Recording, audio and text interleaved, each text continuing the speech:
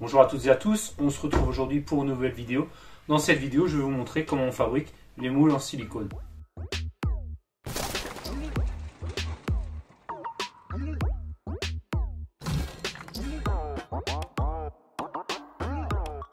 Pour ceux qui ont pu me suivre dans la vidéo euh, précédente où ils m'ont vu réaliser une chambre à pression pour euh, la résine époxy et notamment là où j'ai réalisé mes premiers moulage pour manche de couteau que voici. Vous avez pu voir que j'utilisais des moules en silicone. Et ces moules en silicone, évidemment, en tout cas ce moule, je l'ai réalisé euh, moi-même assez facilement. Et dans cette vidéo, je vais vous montrer comment on s'y prend. Pour réaliser un moulage, vous avez besoin d'un gabarit. Je vous explique. J'ai fabriqué ce moule. Pour fabriquer ce moule, j'ai eu besoin d'un gabarit pour obtenir ceci. L'étape intermédiaire entre ce bloc-là et le moulage, c'est tout simplement le gabarit en bois qui était à l'intérieur. C'est ce qui va vous donner la dimension du moule extérieur. Donc pour fabriquer un moule en silicone, j'ai besoin d'un coffrage, j'ai besoin d'un gabarit.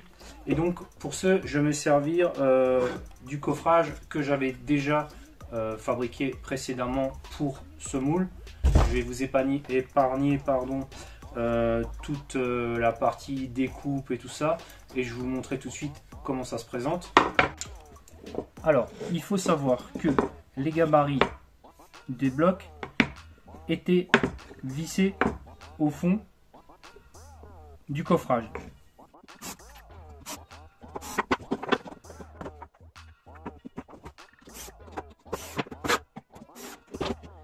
Règle numéro 2, il faut que les côtés soient plus hauts que le gabarit. Je vous explique tout de suite pourquoi.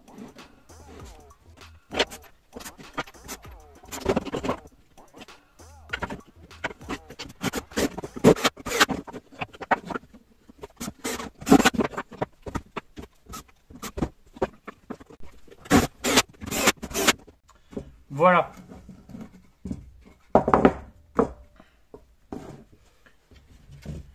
J'ai réalisé l'équivalent ici avec du panneau autre. Donc pareil, je l'ai fait, sauf qu'à la place de visser, comme c'était du plexi et que ça faisait des vis très courtes, j'ai décidé de mettre euh, deux points de colle euh, super glue. Euh, ça fera largement l'affaire. Mais le principe, il est exactement le même. Quand vous fabriquez un coffrage pour réaliser un moule, contrairement à ce qu'on croit visuellement, le fond du moule fini est le dessus ici. C'est-à-dire qu'on va entièrement remplir de silicone jusqu'à ras du bois, ce qui fait que ceci ici va être le fond du moule. Comme ceci voyez?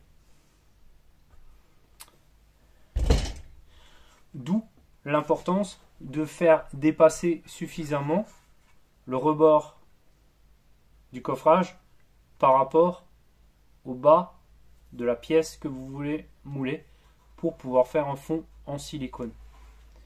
Ça fonctionne pour les blocs, ça fonctionne pour les plaquettes. Moi, perso, pour les blocs.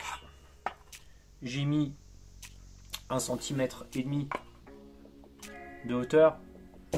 Si vous mettez ce centimètre et demi, ça suffit largement. Et pour les plaquettes, j'ai même moins. J'ai à peu près même pas un centimètre. Vous pouvez mettre un peu plus, ça ira aussi. Qui peut plus, peut le moins. Voilà, je vais vous montrer maintenant comment je vais réaliser les moules. Donc, pour réaliser les moules, j'ai besoin de silicone sanitaire blanc, le moins cher que vous puissiez trouver. Euh, vous l'utilisez. Je vous mettrai un lien euh, pour celui-là, euh, il n'était pas trop cher, donc c'est du, du silicone sanitaire. Il vous faudra tout simplement un récipient avec de l'eau et du liquide vaisselle. Vous n'aurez pas besoin de plus que ça, à part un cutter pour ouvrir le tube de silicone. Je vous donne un conseil, vous pouvez utiliser un seau. Moi j'ai pris une caisse pour qu'on voit bien visuellement sur la vidéo ce que ça donne. Euh, vous pouvez utiliser n'importe quoi. Le conseil que je vous donne, c'est mettez d'abord en fait l'eau et ensuite vous mélangez le produit vaisselle dedans. Parce que si vous mettez le produit vaisselle en même temps que vous mettez l'eau, ça va mousser et vous verrez plus rien du tout. Donc le silicone, il a une propriété, c'est que quand vous l'utilisez, et eh ben, vous le mettez n'importe où, ben, il va coller. Euh, il va coller au doigt, il va coller au mur, il va coller euh, sur le carrelage, mais il va coller. Quoi qu'il se passe, il va coller. Si vous mettez du produit vaisselle, il collera plus. il faut en mettre une bonne dose, mais il collera plus. Euh, donc on va commencer par le début, c'est-à-dire on va déjà découper le silicone, le tube, et on va balancer tout le tube ainsi que d'autres dans l'eau. Alors je commence d'abord par mettre le produit vaisselle.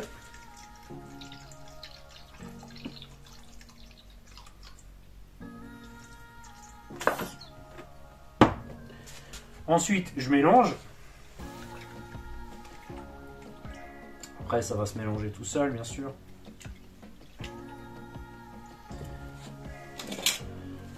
Et ensuite, je vais pas me casser la tête.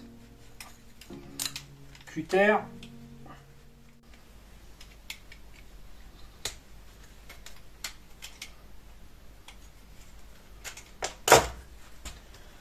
Et avec un manche de n'importe quoi.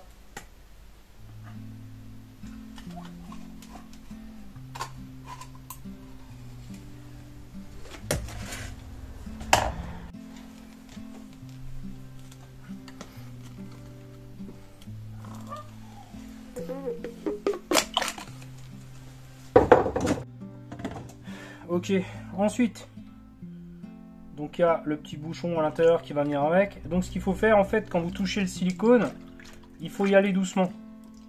C'est-à-dire il ne faut pas tout de suite l'écraser sur vos doigts. Voyez, si vous y allez progressivement, vous enlevez tout ça. Voilà.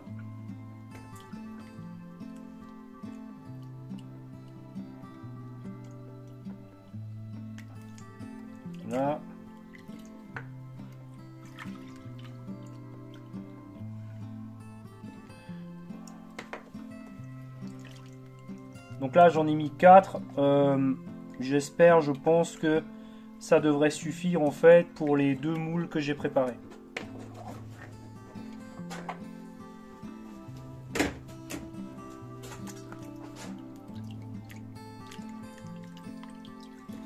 Donc, qu'on va commencer à faire, c'est par pétrir un petit peu.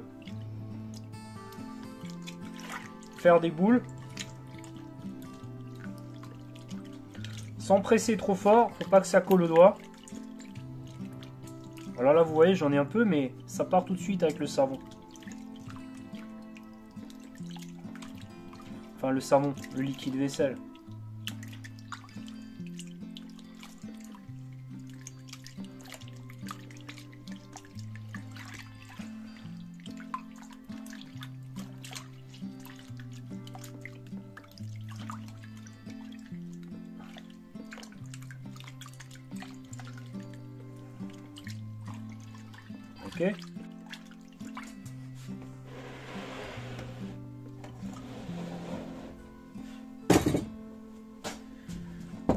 Je vais pas me casser, je vais pas me casser la tête, je vais directement plonger l'ensemble dans l'eau savonneuse. C'est pour éviter après que ça colle. C'est-à-dire que le silicone, il va prendre la forme, mais il va pas rester collé. Ensuite, tout doucement, je vais commencer à faire des petits cordons en veillant toujours à bien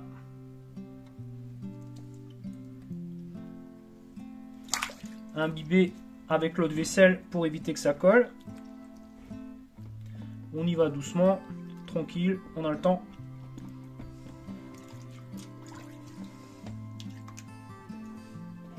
Surtout restez bien jusqu'à la fin de la vidéo. Parce que quand vous serez capable de fabriquer les moules que je suis en train de vous montrer, vous serez aussi capable de fabriquer ce genre de choses.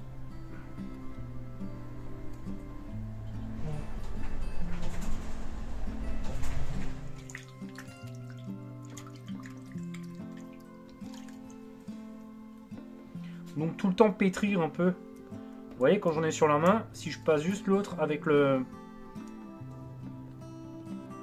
Vous voyez, ça part. Parce qu'il y a de l'eau savonneuse. Donc ok.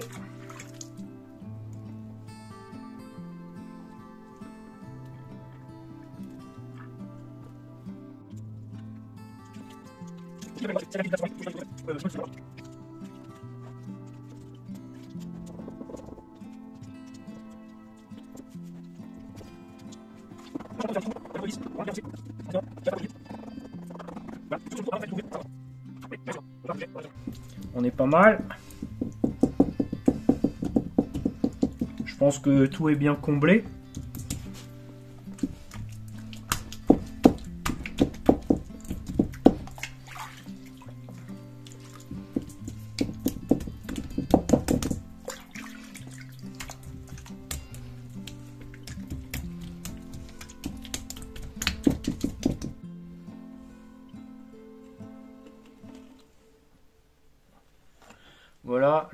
Un truc plat. Ensuite, hop, avec mes mains pleines de savon, on lisse. L'important c'est vraiment l'eau savonneuse. Il faut pas hésiter à en mettre. Hein. Euh, évidemment, il faut pas faire ça dans votre cuisine. Mais en fait, quand vous tapez comme ça avec vos doigts, avec l'eau savonneuse, ça collera pas.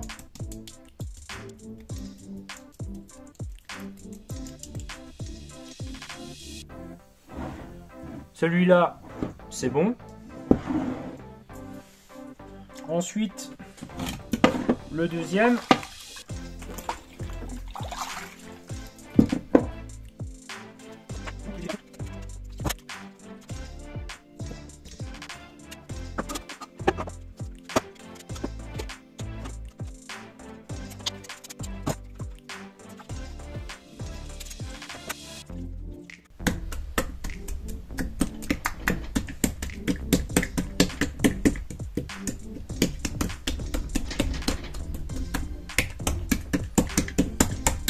Donc voilà, euh, je vous ai montré comment on réalise les moules. Maintenant, on va laisser sécher. Alors, on va laisser sécher 24 heures pour être sûr que ça soit bien sec. Et on va faire le démoulage et on va voir le résultat maintenant. Voilà, ils se sont écoulés 24 heures.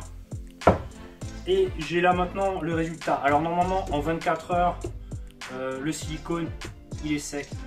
Mais là, avant de démouler, je vais pas vous raconter de bêtises je vais pas vous mentir, je vais vous montrer la vérité. Euh, il y a des aléas. Là, sur celui-là, j'ai un petit problème. Regardez ça. Pour ce moule-là, je pense qu'il n'y aura pas de souci. Je vais le démouler et je vais, on va voir déjà le résultat.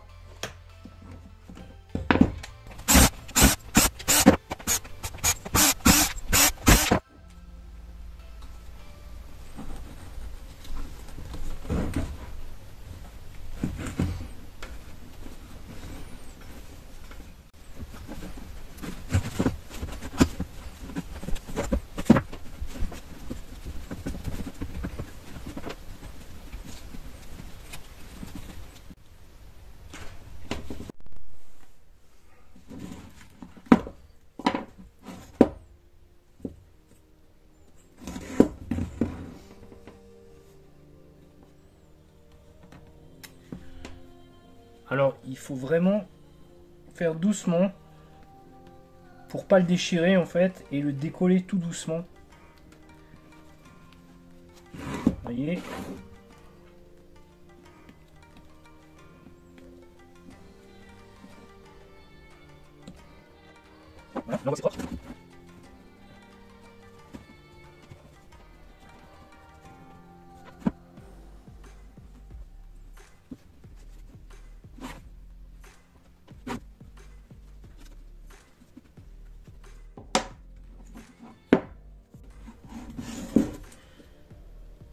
Regardez ça, c'est de la magie.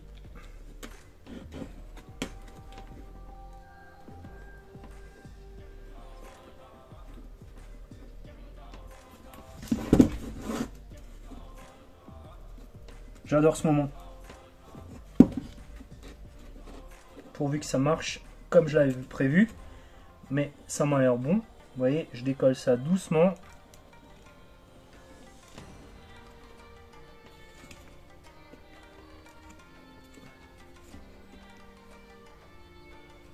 Tout doucement.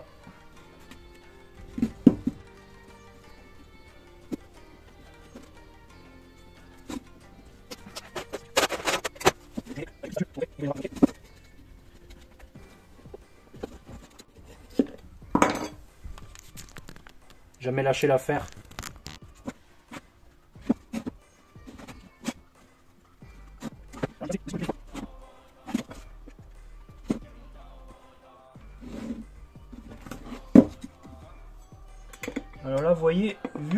C'est collé sur du plexi, ça a une meilleure adhérence que sur le bois. Mais surtout, en fait, il faut faire doucement pour pas le déchirer. Être patient.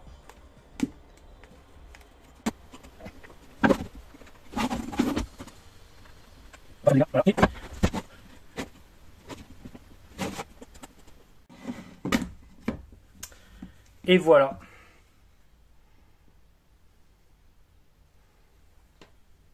Vous avez vu ça? Alors au fond il y a un léger film là qui s'est décollé. Franchement, on s'en fout. Ça c'est normal, ça peut arriver. Ça n'aura aucune incidence en fait sur les plaquettes que vous allez fabriquer. Donc on peut même faire une petite finition.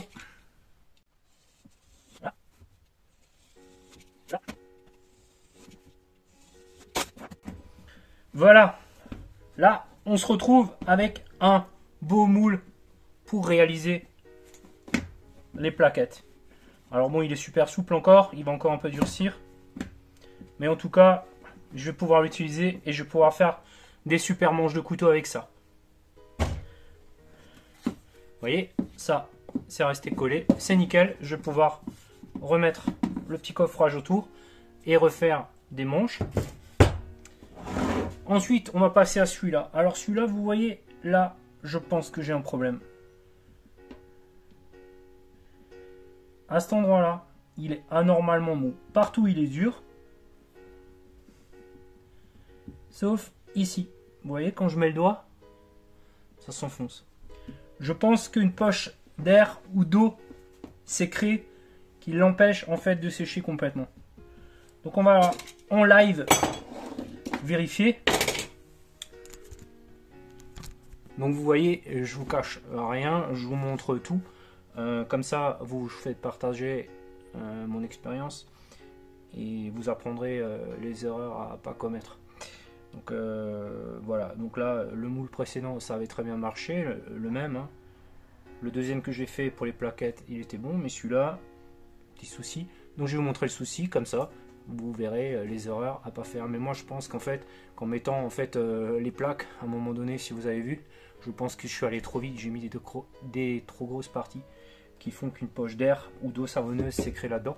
Vous allez voir maintenant en direct, c'est comme quand on presse un bouton, on va voir ce qui sort.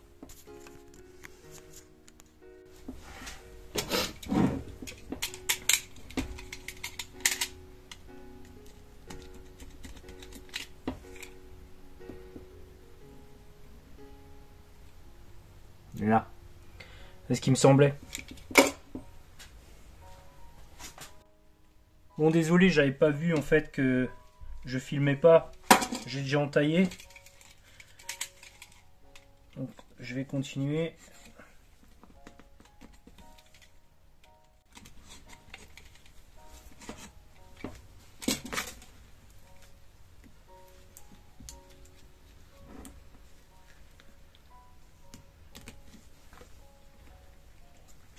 S'est passé. Mais vous voyez, c'est pas super grave. Tout ça c'est sec. Ici c'est dur. Ici un peu moins. Je vais encore enlever un peu.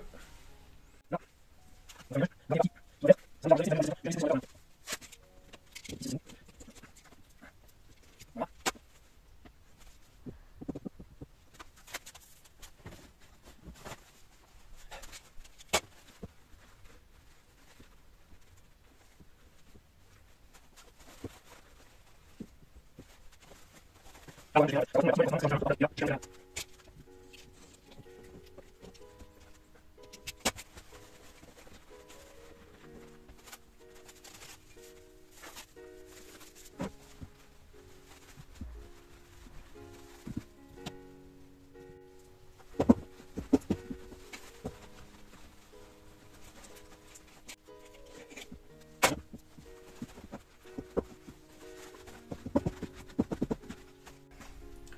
Donc là, euh, j'ai enlevé toutes les parties qui posaient problème. Il n'y a plus de silicone euh, mou qui traîne. Il n'y a plus que des parties dures. On va laisser sécher l'état de surface. Et ensuite, on va remettre du silicone euh, là où il est manquant. pour terminer ce moule. Et ça va marcher, il n'y aura aucun souci. Je tenais à vous montrer cette partie-là qui m'a posé souci. Parce que c'est important de montrer aussi quand ça ne marche pas. Parce que c'est dans les erreurs qu'on apprend. Et donc euh, là, euh, sur les moules précédents, les deux que j'ai fait, j'ai eu aucun problème. Je les ai démoulés, ils étaient secs. Celui-là, non, je l'avais laissé poser sur le radiateur pendant 24 heures, comme les autres. Ça n'a pas fonctionné correctement. Je pense qu'il y avait une, poche d'eau euh, savonneuse qui s'est mise dedans et qui empêchait de sécher. Donc là, je vais boucher le trou avec du silicone. Quand ça sera sec, je vais le laisser quelques heures sécher. Je vais boucher le trou. Et ensuite, on procédera on essayera une deuxième fois de procéder au démoulage. Voilà, on est le lendemain, ça a eu le temps de sécher, c'est nickel, il reste rien, c'est sec, c'est parfait. Donc euh, je vais faire la petite retouche et puis je vais en profiter euh, pour faire encore euh, d'autres moules d'avance. un petit conseil pour les plaquettes, c'est un peu léger ce que j'ai fait, 1 cm, c'est un peu fin, alors c'est pas grave, je mettrai une petite plaque en dessous pour manipuler.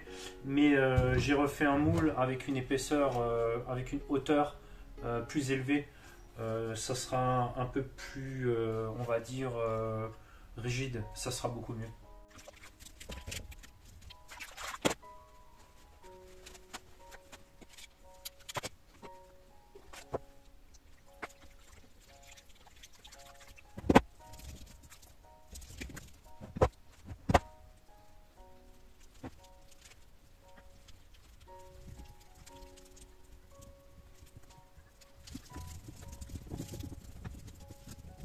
Voilà, 24 heures supplémentaires se sont écoulées.